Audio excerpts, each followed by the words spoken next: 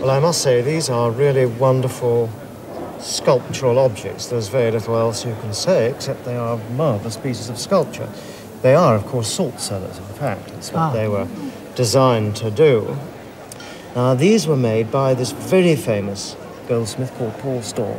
Three of them were made in 1813, and this one um, was made actually in 1811. And you can see a date letter Q there, as opposed to all the rest, which have a date letter S for 1813.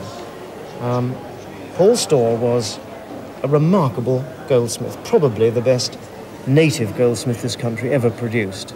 Made absolutely breathtaking things.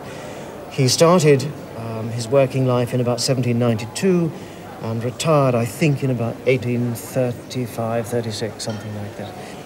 The, the design for these probably originates in the 16th century. Uh, there's a very famous salt cellar made for Francis I by Benvenuto Cellini.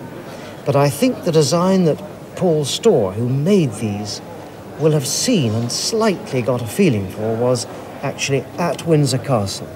At Windsor Castle, there are some uh, sauce boats and salt cellars made by a man called um, Nicholas Sprimont in the 1740s that have very much this idea of shells being held by sculptural um, mermaids, mermen, tritons, and so on. And I think that he will have seen those because he worked for a firm or worked with a firm that worked very largely for um, George III. And he will have seen those at, at Windsor Castle, probably even repaired them from time to time. And I think this is where he will have got the general idea. Where did you get them? Well, my father gave them to me about a year, 18 months before he died. The, the, the gilding on them is so wonderful. It's so thick and heavy.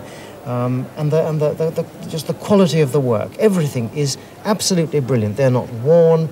All the chiseling on, on the little mermen here is absolutely brilliant. They are really tremendous, tremendous salt cellars. Um, have, you, have you any idea of you know, what you think they're worth? I haven't any idea whatsoever, no. Well, yes. Um, well, it's, it's, it's, it's, it's difficult. I see. It's difficult, but I, I've been looking at these and um, telling you bits about them and uh, trying to think myself. But I think, on balance, if if I had to buy these, um, either from a private house or at an auction or whatever, if I had to buy them, I think I'd have to be looking at forty thousand pounds. Good Lord. you do surprise me.